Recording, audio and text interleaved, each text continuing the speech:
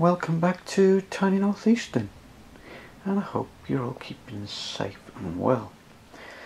And um, this is just a follow up from the last video um, when we saw the rail car perform quite well around the layout. Uh, no issues at all. Uh, I didn't want to do a review of this Northeastern Railcar because I'm sure there is plenty out there already. Right, so what have we been up to? If we just come around this side, I'll just gently move the railcar out of the way. You can see I've added some buffers to the end of the tracks here. Um, as you can see there's some LEDs fitted to the tops. Now I have done um, videos of fitting LEDs to buffers and it's quite simple really. These are the red micro LEDs and uh, there is a resistor just there before it goes onto the track. Just in there. You can't see it because it's painted black to blend in with the buffers. But um, once the track is painted, the buffers will be painted, well the buffer frames will be painted um, differently anyway, I'll tone them down a bit, add a bit of brown paint to them. Right, so other things that have been happening, uh, remember that gaping hole that was here? I have uh, fixed that by putting a new piece of stone walling in and re-paper machied it along with some grass and a little bit of foliage there some stones as well and just got to cap this top off.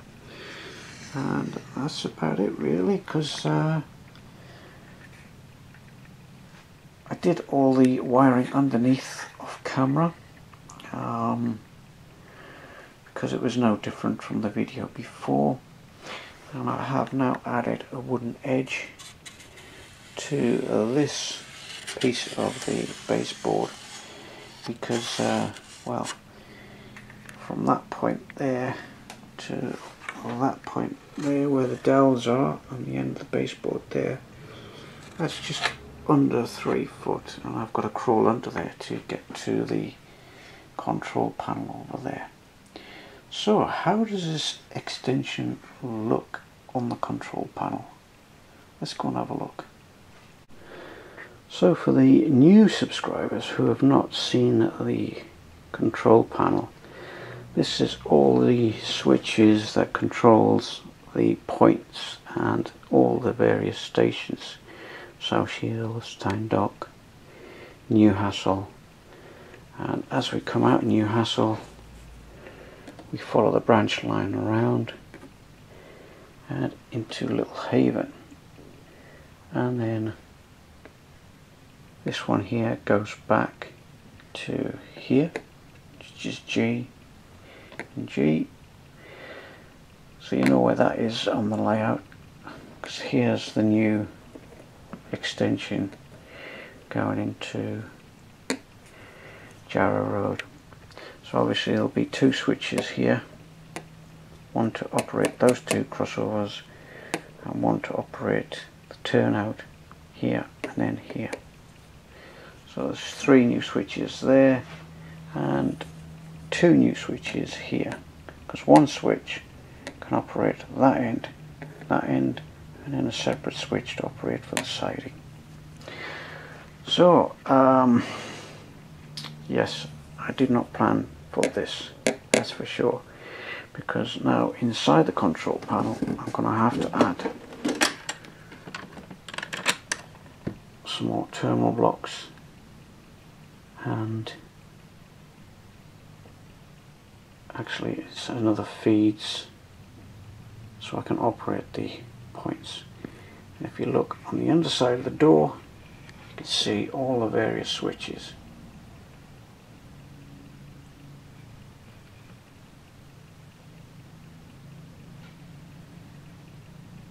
And that's for the southern side of the layout and this is for the northern side of the layout. Still lots of terminals to fill there because they're not all wired in yet.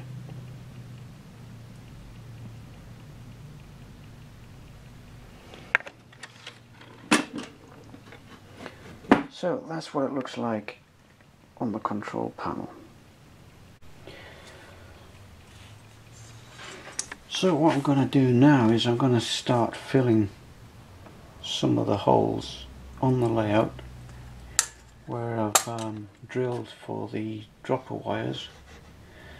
Um, so I'm just going to use a little bit of silicon to fill the holes. And what I've done is I've made up a special tool for going in between the sleepers because there's my hole there. You just make it out and what I've done is I've cut a glue stick down to the same width as the gap between the sleepers. So a little tiny bit of, of silicon on there just goes in nicely in between the sleepers and then fills in the holes. The idea is for doing this is when I come to ballast I won't have lots of glue or PVA running through and falling out underneath. So there's a, a little tip for you. And what I do is just wipe off any of the excess silicon like so. Obviously once the ballast is on there you'll never see the silicon.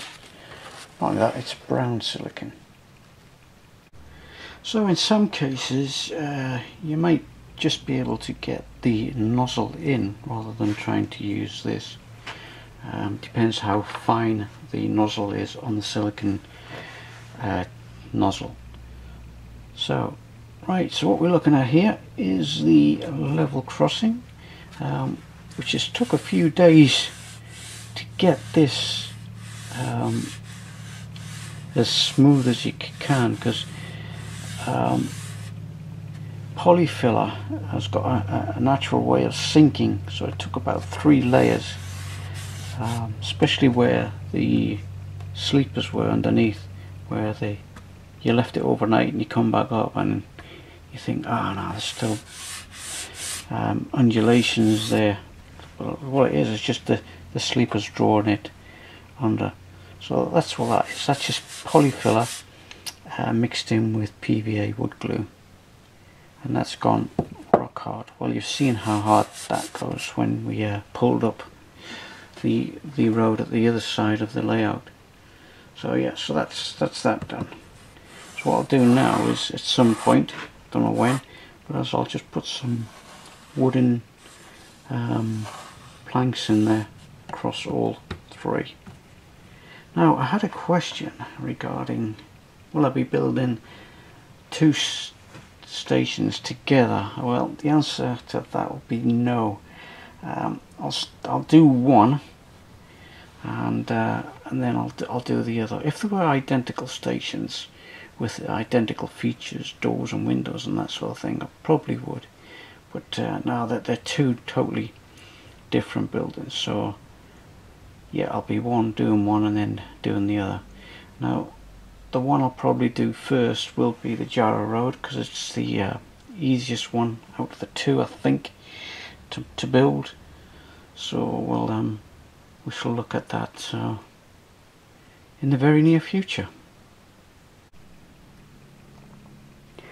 But meanwhile over at uh, Little Haven um, I still haven't added the extra baseboard that's going to come out. It's only going to come out about 200 millimeters.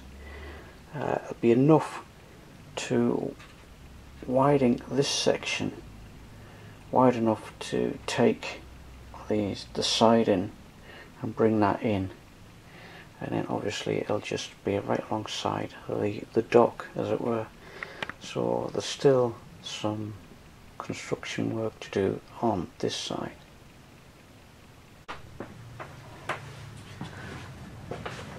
So the next thing I want to tackle is the platforms for Jarrow Road.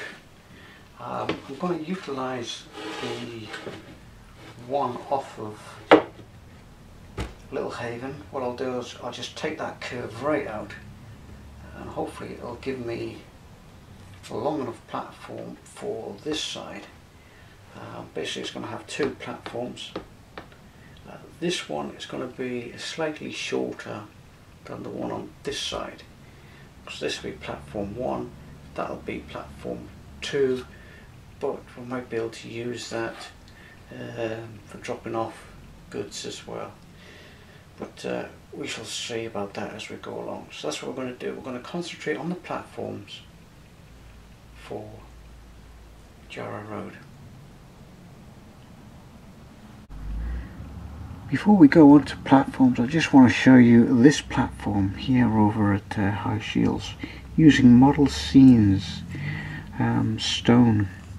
Um, it looks like a photograph and it's quite um, detailed this this edge and uh, yeah this is probably one of the the better platforms as it were here on the layout these are Newcastle platforms and all I did there was just painted the uh, rough edge after I PVA'd them to try and give it uh, a brick look.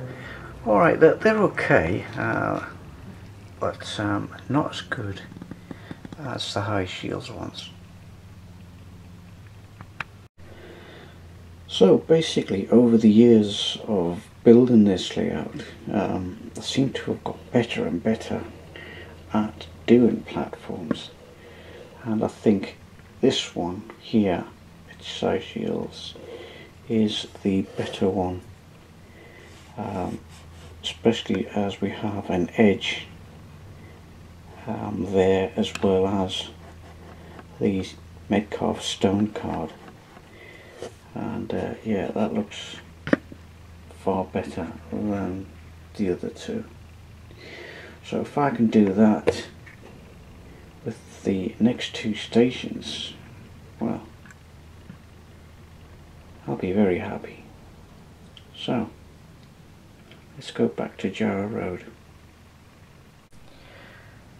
and here are the two platforms at Jarrow Road.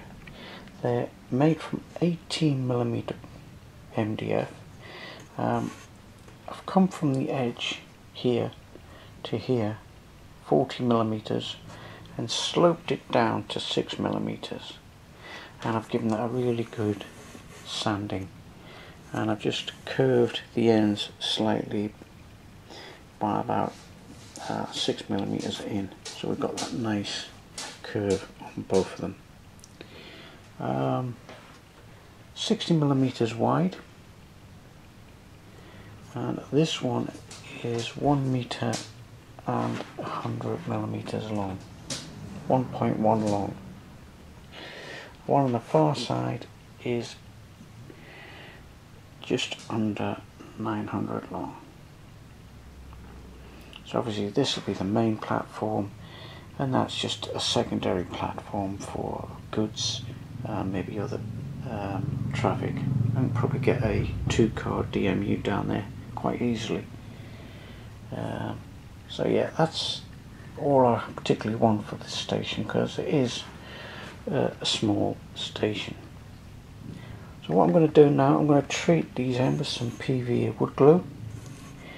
Uh, and once they dry I'll rub them down again and then we can paint them the edges I'm going to leave because uh, I'm going to put some stone paper on them like I did with the one in South Shields all I have to do here is just cut a oblong piece and then dowel put some wooden dowels in there and in that edge there and join the whole lot together so it goes in as one platform. Um, but I can't do this piece yet because I'm still working out how I'm going to build the station front whether the steps are going to be outside the building or inside the building leading up to the pl platform um, similar sort of issue to what I had when I did the South Shields platform. Uh, if you remember, we you go into the booking office and the steps or stairs are there before we get onto the platform. So I'm thinking maybe do this one slightly different so the stairs are outside the building before you go through the main entrance. So that's something for me to think about. But in the meantime, I will uh, clean these up and um, treat the ends and then they're ready for their um, uh, either stone sheet or brick sheet on these edges. I have done platform 2 and as you notice I've uh, cut away a notch here. That's for the point here for the actual tie bar that comes across. Um, eventually I, I, will cut them off once these um, I've had the point motor installed. But as you can see I've done one edge and that's the Metcalfe 50058 and yeah I quite like the look of that. Um, we've used that before uh, at the South Shields. But what I did at the South Shields I didn't bother with these big stones but I've used the big stones just to break up the pattern. So yeah I'm quite happy with that. That looks quite neat. So that's platform 2 done. Um, platform 1 thought I'd show you this before I put the edge on. Um, over here in this end I'm putting in a sensor so that I don't clash with the buffers only on platform 1 because this will be the main arrivals and departure for the station. Um, as you can see I have already cut out a massive notch there and a smaller one there for the point yet again. So that then will just go over the top of the sensor so it will hide it and uh, that would be uh, a rather neat job. I'll just uh, quickly show you. And that's what it looks like with the platform in situ. I just pushed that up against the pencil line I've got there on the inside. It's going to be somewhere around about there. Obviously, uh, once the, the edging goes on, the stone edging, I'll have to put another edging on to, to create a lip like we have over at South Shields. And then the platform will probably end up a little bit further back. But uh, yeah. So let's concentrate on doing the edge of this one. And that'll be the two long platforms edged up. So that's another edge done. Um, it took a little bit longer to do. Uh, due to the glue I'm using. It's the Wilko's PVA wood glue supposedly, but uh, yeah, it's not too clever. It keeps wanting to peel away, so I'm forever trying to push it back in. But uh, yeah, I got there in the end. So I've gone back to using Wickes. Wickes is the far better wood glue, I think. Right, so that's the two straight platform edges done and now it's time to concentrate on the curved platform and as you can see I have made some steps ready for the Jarrow Road entrance. Right so over here at uh, Little Haven and um, in order to set up for a curved platform I've just got some sheets of paper. I've put that up against the sleepers, leaving about an inch or so so we can cut that back.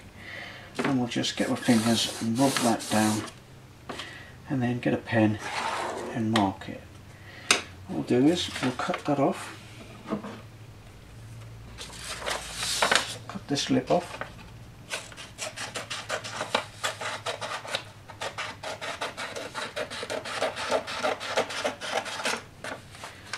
and then put it back and then just temporarily the edge of my platform is going to be about there because I want to allow room for a signal. So I'll just stick that there temporarily to the baseboard. A couple of bits of tape. And that then becomes the marker sheet, as it were. You get another sheet of paper alongside it. Overhang about an inch over the track. Get your fingernails and just rub against the sleepers. So now that you've got your sheets down to the length of platform that you want, just make sure that it's secure before you start doing the next piece. Now the next part is scribing the line for the curve of the platform. So my platform starts and finishes in these two points here. So what I've done is I've rigged up a jig as it were. I've just taped a pen to the side of this uh, old sausage van and um, just making sure that it's nice flat against the sides and so the pen does not rock at all when we start scribing the line. It's a case of just putting this onto the track because I've already preset it so that the pen touches the paper. And then it's just a case of marking the line very carefully to the paper. Trying to keep the pen steady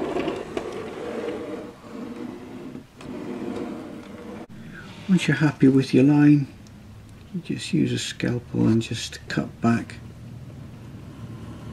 on the line.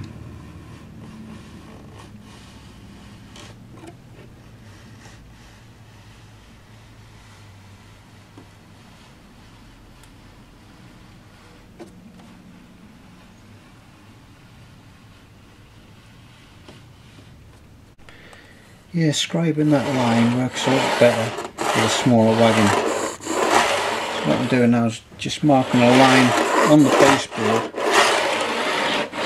to cut the um, platform when it's finished.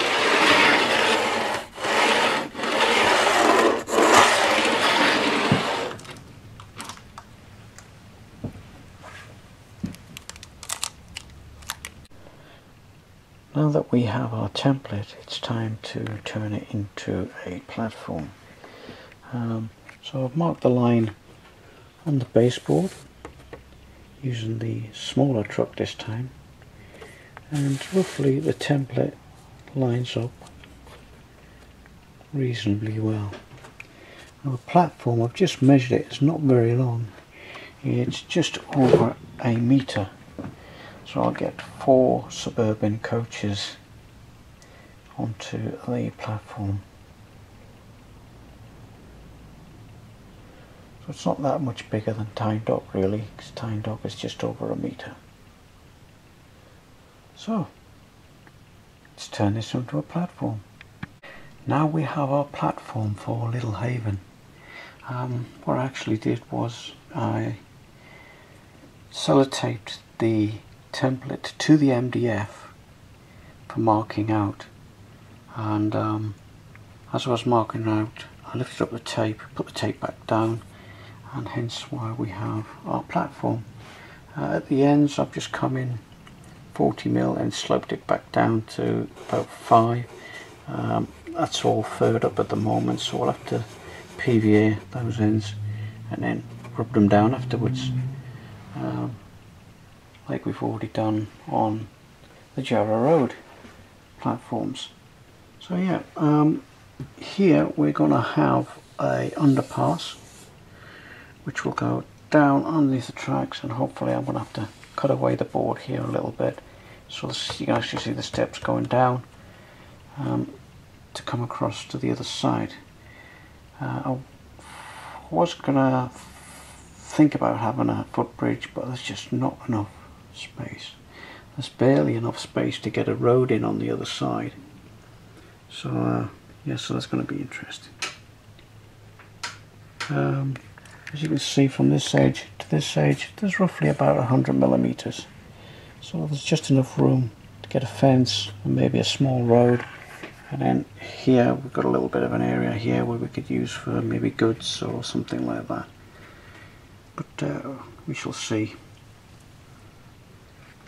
Right, so meanwhile, back over at Jarrow Road, we have cut a piece of platform to represent the building and the platform to finish this off. And as you can see by the shape of it, you can see where this building um, is going to go. Um, the main building is going to stick out further than the rest of the building. But uh, that's going to be for another video. Um, this is going to get confusing jumping from one station to another but um, once all the donkey work's done what I call the donkey work the cutting of the platforms the extension baseboards for Little Haven still uh, I can settle down and then just concentrate on one station and I think this one will be the first one to get built Jarrow Road. So until next time, enjoy your model railways and uh, we'll see you again back at Jarrow Road. Bye for now. Bye.